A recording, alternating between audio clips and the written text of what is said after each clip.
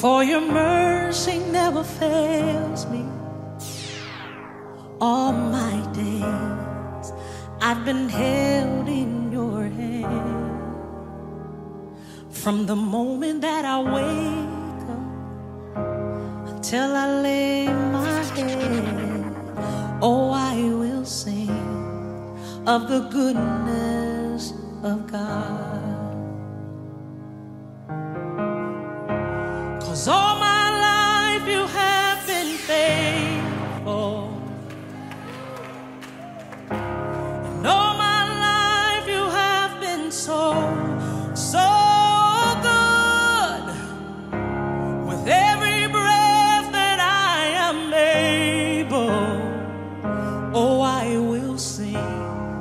Of the goodness of God. I love your voice. You have led me through the fire and in darkest night. You are close like no other. I've known you as a father. I've known you as a friend.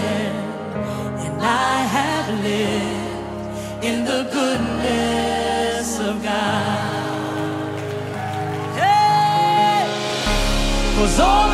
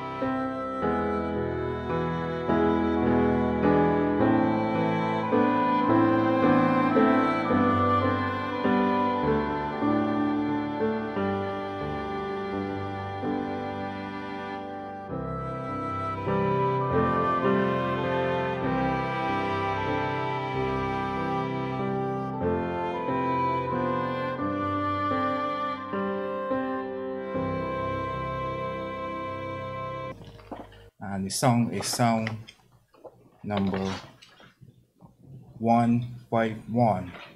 The song, the title He Will Call based on Job chapter 4, verses 13 to 15. And it's the appropriate song because it looks at the resurrection hope, the promise from God, and it encourages us to have faith. So if you can, please stand and sing number 151. And then after the song, we just share a sharp prayer.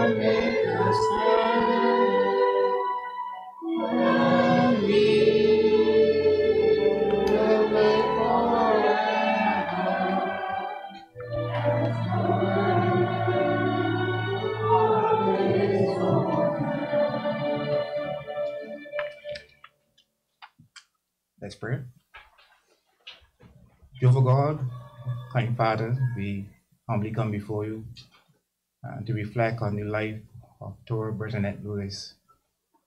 We do appreciate the power of prayer, and thus we use this opportunity to pray to you um, so that we can get comfort through this difficult time.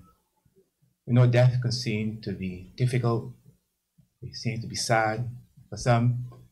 Uh, you may think this is the end, but we know by means of your scriptures, Jehovah God, you'll help us appreciate that this is not the end.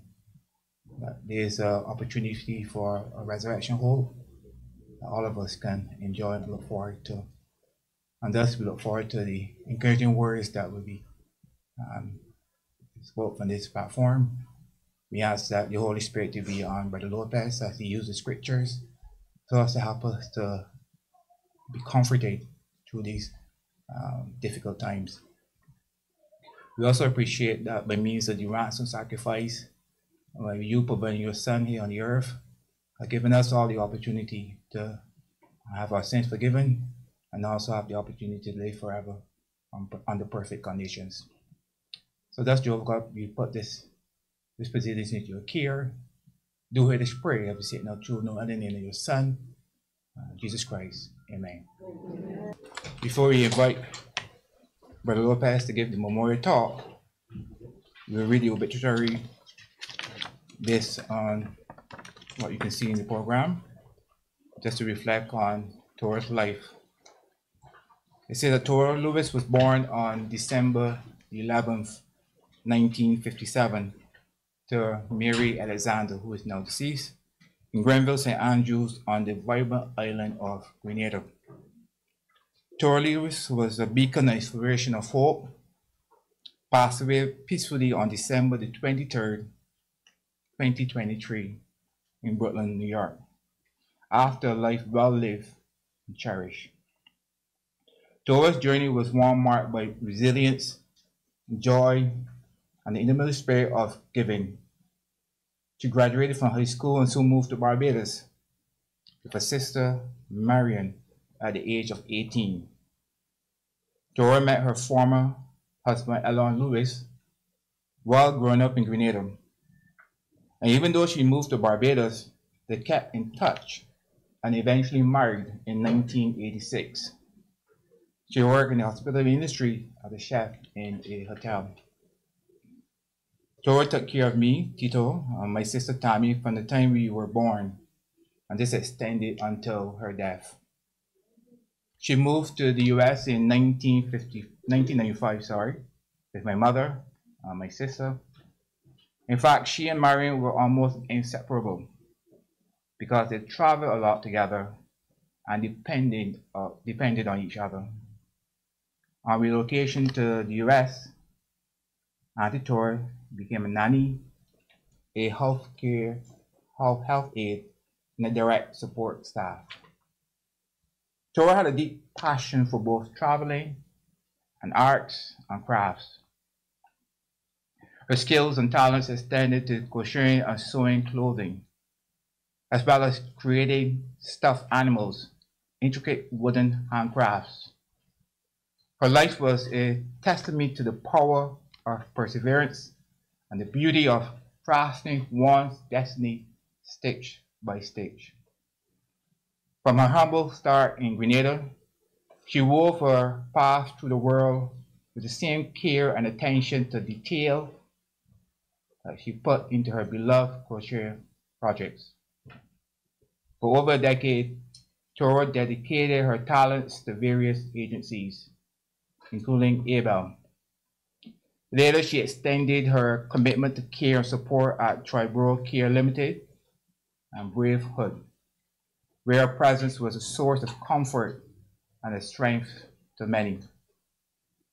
She survived by her sister Marion and brothers Martin, Romaine, Christopher, and Benson, nieces Tamisha, Christmere, Kristen, Kayla, and Michelle.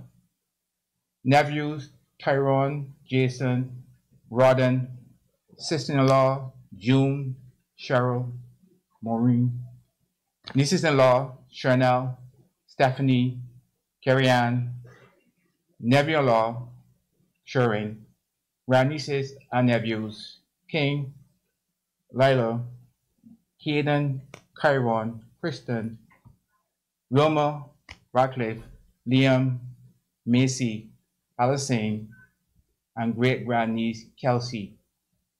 Close friend Lisa, Claudette, Alistine, Christine, Althea, Doris, Nella, Sam, Cindy, the West and Mitchell family, the Marshall and Durham family, and many more.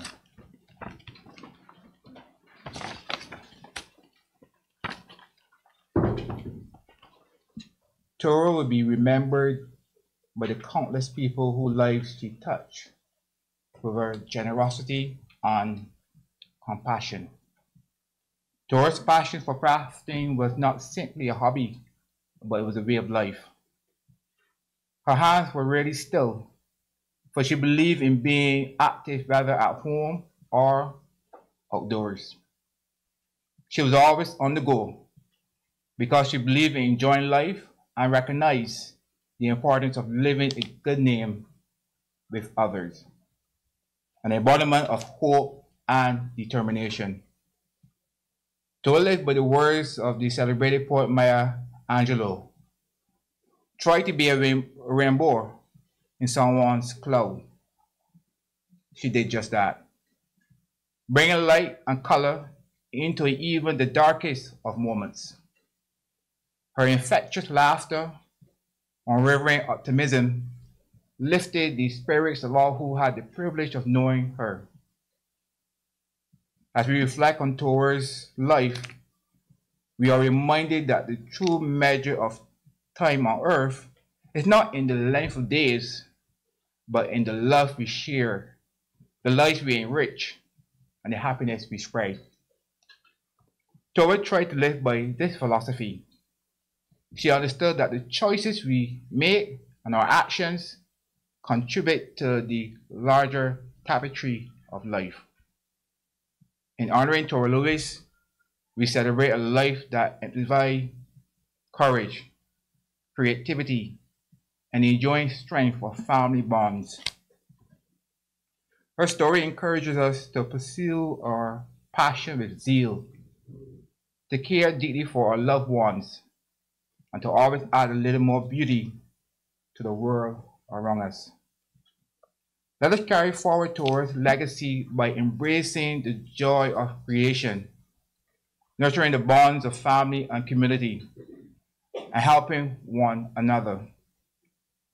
Today, we remember a sister, an aunt, a friend that lived a good life, and we hold to the memory of a remarkable woman who will forever inspire us to portray our dreams into reality. Now we call on Brother Lopez to give us the memorial talk. So let's give him our undivided attention. So no doubt the family is happy to see so many here this evening to support them. Uh, we know when we lose a loved one, it's not something that any of us can do alone. Uh, the pain, uh, the anguish, the loss that we have uh, really can be overbearing. But by being together in times like this, it really provides us that comfort and the support that we need. Um, but it also helps us to appreciate that it's it's not something we were designed to have to deal with. And so when we do face a loss and there's tears, there's weeping, there's outpours, there's crying, it's normal for us to feel those emotions, understandably, when we lose uh, someone such as Thora and the lifelong bond that we had with them. And the Bible really helps us to appreciate that that's the case. There's nothing wrong with those feelings. Many faithful individuals who believed in God, had hope in God, when they lost ones, they still wept, they still cried, they still felt that loss. And so it helps us to appreciate that those are normal things that we'll experience and that it's fine to feel that way. And the prime example of that is Jesus Christ, because it really helps us to see uh, how we can react and how it's fine to have those feelings. But we're going to look at an account in the Bible that really helps us not only to appreciate that point, but to think about some other aspects that really can provide us comfort when we've lost a loved one. Turn with me in your Bibles to John chapter 11. And the situation that arose is that one of Jesus's very close friends, Lazarus, had become sick.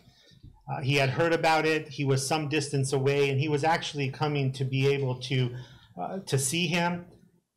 But before he could actually see him when he was sick, he heard that he actually died. Well, Jesus continues to go to be a support to the family and the friends there because he was close not only to Lazarus but to his sisters, Martha and Mary.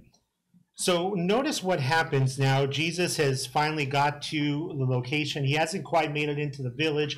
Uh, one of the sisters has already come out and spoke to him, but Jesus wants to even get closer. He wants to see where Lazarus was actually buried at. And there in um, John 11, beginning in 33, verse 33, notice his reaction.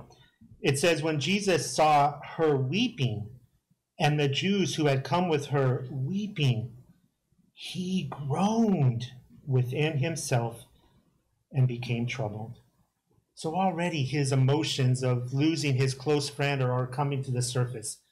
So what does he do? Verse 34, he says, Where have you laid him? They said to him, Lord, come and see. Jesus gave way to tears. Why is that so significant? Because Jesus, as a perfect man, would have perfect control of his emotions and his feelings. And if it was wrong to feel that way, if it was not right to have those emotions and those feelings, Jesus wouldn't have expressed them. But Jesus was human just like us. And so he felt the same pain and anguish and loss. And he cried, he wept, he groaned within himself.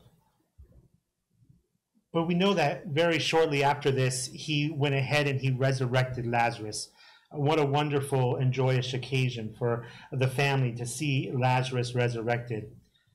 But why is this account so important? Because Jesus perfectly reflected his Father, Jehovah God. And so, if this is how Jesus reacted, then we know that that's how our loving God, Jehovah, would also have reacted in that situation. And so, why is it comforting to know that? Well, turn with me to Psalm 34. And we're going to see why Jehovah provides this comfort, what he gives those who have lost loved ones. Uh, there in Psalm 34, notice verse 18. It says, Jehovah is close to the brokenhearted. He saves those who are crushed in spirit.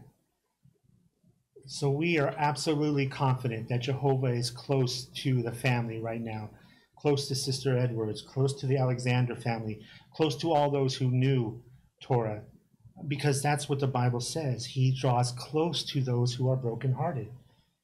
Well, that may that's nice to know that he cares about us, he draws close to us.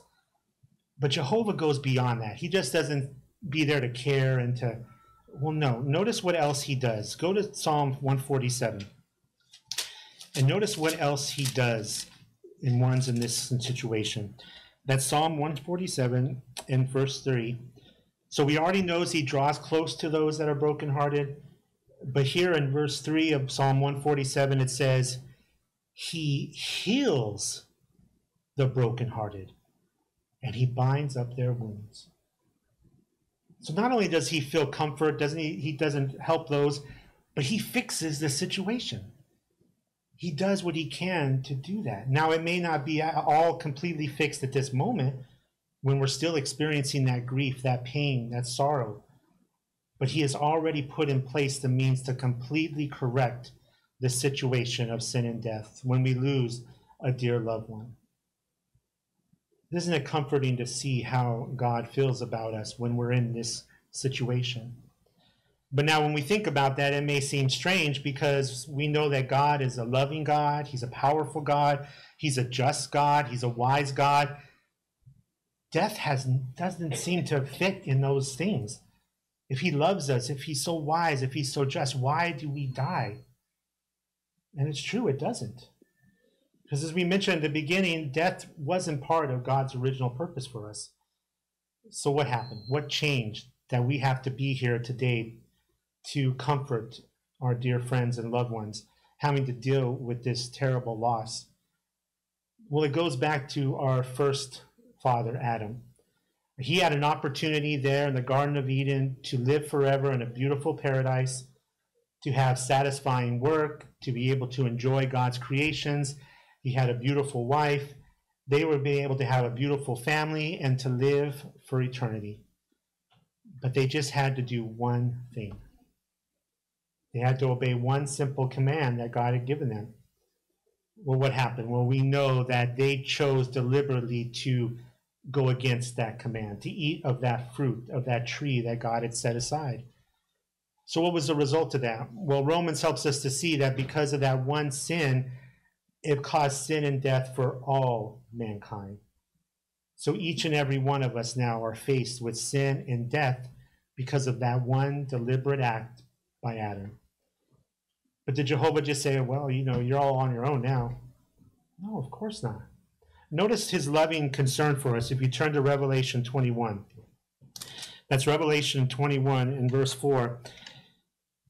And there it says, And he, speaking of Jehovah, will wipe out every tear from their eyes, and death will be no more. Neither warning, nor outcry, nor pain be any more. The former things have passed away.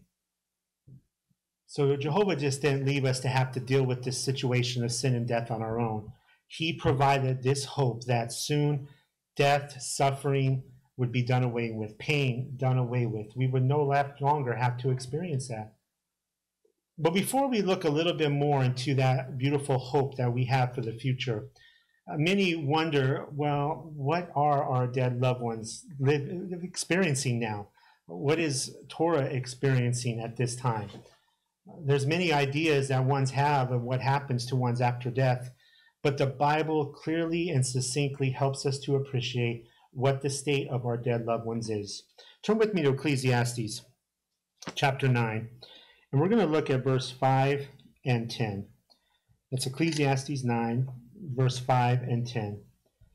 It says, For the living know that they will die, but the dead know nothing at all, nor do they have any more reward because all memory of them is forgotten.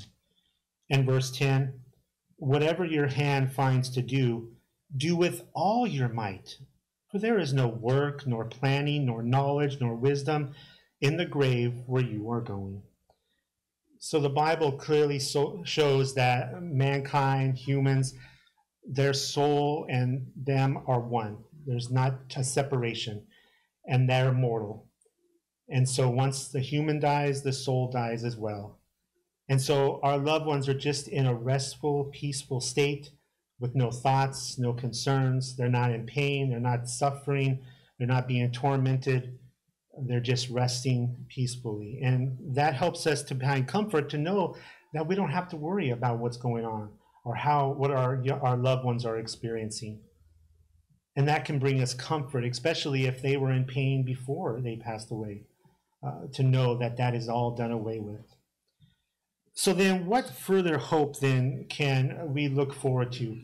We talked about already uh, this hope for the future when death and pain and suffering would be done away with. But that still doesn't really help us to see well, what about the loved ones we've already lost? What hope is there for them? Well, we'll go back to that account with Lazarus and Jesus. Remember, Jesus resurrected Lazarus. And that was just pointing to a time when he would do so on even far greater level. Uh, Jehovah God uh, provided the ransom of Jesus Christ to provide the opportunity for us to have that hope of our loved ones being resurrected back. Notice this if you turn to John chapter 5. And Jehovah has assigned Jesus to be the one to accomplish this task of resurrecting our dear loved ones. There in John chapter 5, Notice verse 28 and 29. And here Jesus is speaking. He says, Do not be amazed at this, for the hour is coming in which all those in the memorial tombs will hear his voice and come out. Those who did good things to a resurrection of life, and those who practiced vile things to a resurrection of judgment. So, here, can you imagine what Lazarus heard when Jesus called out his name to come out of that tomb? Well, now this promise is extended to every individual who's died on the earth, that they will hear Jesus' voice and come out. How comforting it is to know that we have that opportunity to see our dead loved ones again. And Acts really helps us to appreciate to the extent that this opportunity, this provision, this hope of the resurrection is extended by our loving God, Jehovah. There in Acts 25, excuse me, 24, notice verse 15. And here it says, And I have hope toward God, which hope these men also look forward to, that there is going to be a resurrection of both the righteous and the unrighteous.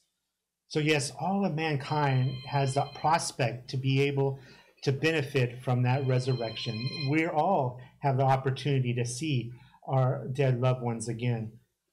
And so that can bring us comfort. And so when we think about these few points, well, do we see God's love, wisdom, justice, power in these things? Well, yes, we do. First of all, we see Jehovah's power to be able to resurrect once again, to bring them back to life so that we can enjoy uh, spending time with them again. Uh, his justice in realizing that because of what Adam did, we had that opportunity. Unfortunately, our faced with sin and death. So Jehovah corrects that because of his sense of justice by removing death, pain, suffering. And then we see his wisdom and his love by means of not only offering his son as a sacrifice, but that opportunity for that resurrection. So those really show us the loving, wise, just, and powerful God that Jehovah is. But yet, all those hopes and all those things that we're benefiting from really do provide comfort. But there's even more for us being here this evening. There's more that comes out of situations like this. It really helps us to see the brevity and remind us of what could happen. The scriptures talk about there in Ecclesiastes time and um, unexpected events befall them all. So we know that any of us, unfortunately, in the times that we live in, could pass away at any moment. And so then what does that cause us to do? Pause and think about what? Turn with me there to Psalm 90 and notice verse 2. That's Psalm 90 and verse 2. And here Moses in a psalm to God, there in verse 2 says, or excuse me, verse 12, it says, Teach us how to count our days so that we may acquire a heart of wisdom. So um, events like this, when we see the brevity of life, it may cause us to pause, to step back a bit, and look to see how we're counting our days. How are we living our life in line uh, with what God would require of us? And why is that so important? Well, let's turn to Ecclesiastes chapter 7. And we're going to see the import of that. That's Ecclesiastes 7 and verse 1.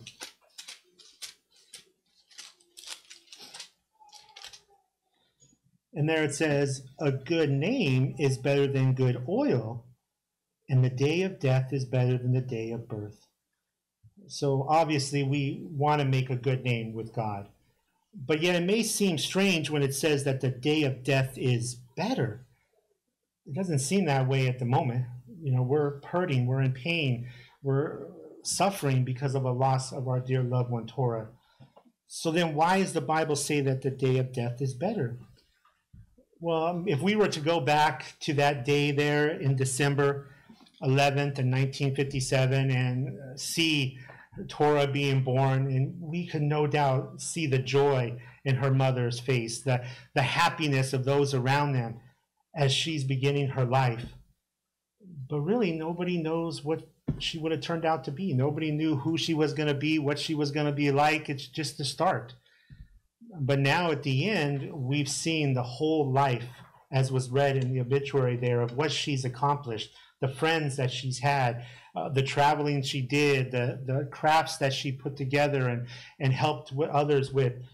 See, that's why that day of death is better because we see the whole life now in its entirety. And so for all of us, we want to think if I were unfortunately to die tomorrow, what kind of life have I put together? is it one that Jehovah would be proud of? Would we have ones here supporting our loved ones? And so it helps us to take that step back and to think about how we're using our life. And really, we think about today, many try to store up big bank accounts and have all these worldly possessions, but the Bible clearly just helps us to see the importance of storing up treasures in heaven, having that good relationship with Jehovah, and really doing all that we can in our service to Him. And so by doing that, we put ourselves in line to be able to benefit from all those promises that we've shared this evening. And most importantly, we put ourselves in line to be able to see our dear loved ones again in the very near future uh, by doing all that we can to follow through with the direction that Jehovah has provided us. So, yes, very soon we're going to be able to see uh, many of our dear loved ones and, and to welcome them back and to enjoy spending time with them. But we know that until that happens, the pain, the suffering, it, it doesn't go away. It takes months, years, and it may never go away in this system of things. And so, what can we do to assist each other in the days, weeks, months, years uh, following this evening? We'll turn there to 1 Thessalonians 5. And notice the encouragement we have there. That's 1 Thessalonians 5. And notice verse 11. It says, Therefore, keep encouraging one another and building one another up, just as you are, in fact, doing. And so we know many of you here today have been encouraging and, and supporting the family. And we truly appreciate that. And we want to continue to do that. We don't want to just stop now that we've been here, we've had this memorial, we had these the nice reading of the obituary. No, we want to continue to provide that support and encouragement. And notice how this is brought to our attention in Proverbs chapter 17. That's Proverbs 17. And notice verse 17. It says, A true friend shows love at all times and is a brother who was born for times of distress. So, yes, we can be that brother, that sister, that friend during this distressing time and provide the support and the encouragement, uh, especially reminding each other of that hope that we have that soon death will be no more, that there will be a resurrection of our loved ones, and that that pain and suffering will be gone for good. Yes, being here this evening is a time for us to support and encourage one another. And we have the comfort from the scriptures that can strengthen us, that can support us, and that can help us to be able to deal with the loss of our dear friend Thora. Uh, but what else do we want to continue to put trust in? Well, notice our final scripture there in Psalm 9. And again, helps us to continue to look to the one who will continue, no matter if nobody else does, but he will continue to provide the support. Notice there in Psalm 9, verses 9 and 10. And this will continue to resonate with us going forward in the days and weeks to follow. Uh, what hope and the promises that we can look forward to. And there it says, Jehovah will become a secure refuge for the oppressed, a secure refuge in times of distress. Those knowing your name will trust you.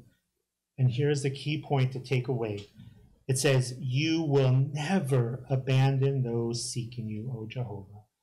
So, what loving comfort Jehovah finally gives us to show that He will always be there for us in times of loss, in times of whenever we're going through until the times that we're able to see our loved ones again and be in that peaceful new world and to experience all those promises that He's given us. So that'll bring our talk to a close. What we'll do now is stand again and we'll sing a concluding song. That song is 140, Life Without End at Last, after which we'll close in prayer.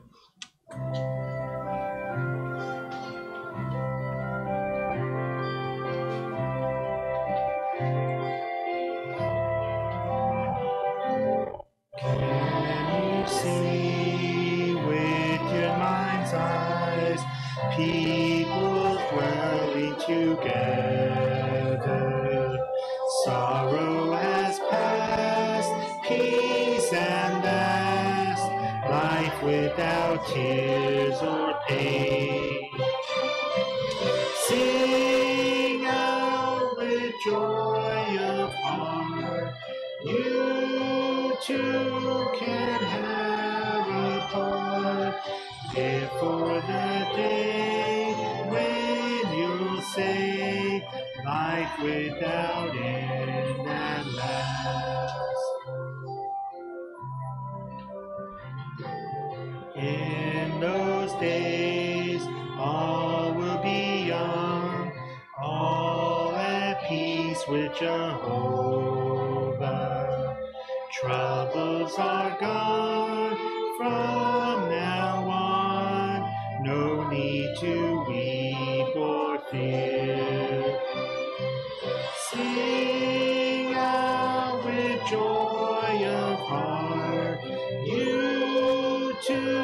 can have a part. Live for the day when you'll say, Life without end at last. Paradise all will enjoy as we sing of God's glory. Long as we live, we will give honor and praise to God. Sing out with joy of heart. You too can have a part. Live for the day when you'll say, Life without end at last. Jehovah, we come before you now. We're truly thankful for the great God that you are. the-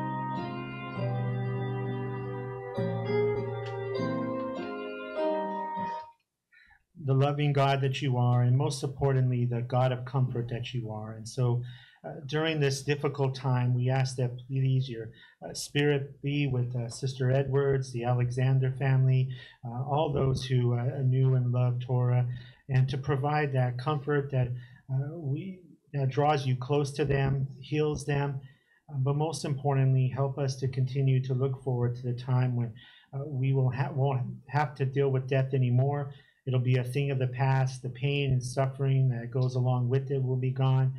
Uh, we'll be able to live in a beautiful paradise earth, but most importantly, we'll be able to be with our loved ones again uh, by means of the resurrection and to encourage and to strengthen them and to be able to uh, enjoy our time with them again.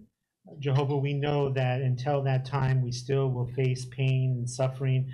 Uh, we're still going to feel the loss and the and the, the heartbreak that comes from losing a, a, a sister, an aunt, a friend. Uh, but we know that you're there as a God of comfort to help us to see uh, the love that you show for us, to support us, to encourage us. And we ask that you help us all individually to do the same, to support uh, the family and one another as we deal with this loss until the time that we're able to see our loved ones again.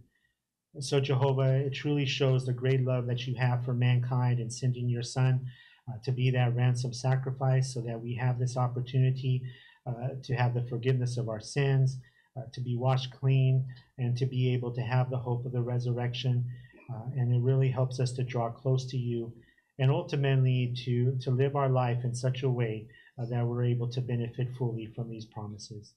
So again, Jehovah, continue to be with uh, Sister Edwards and the Alexander family and all those who knew Thora to strengthen them, uh, build them up, and provide the comfort and love that uh, you have for them.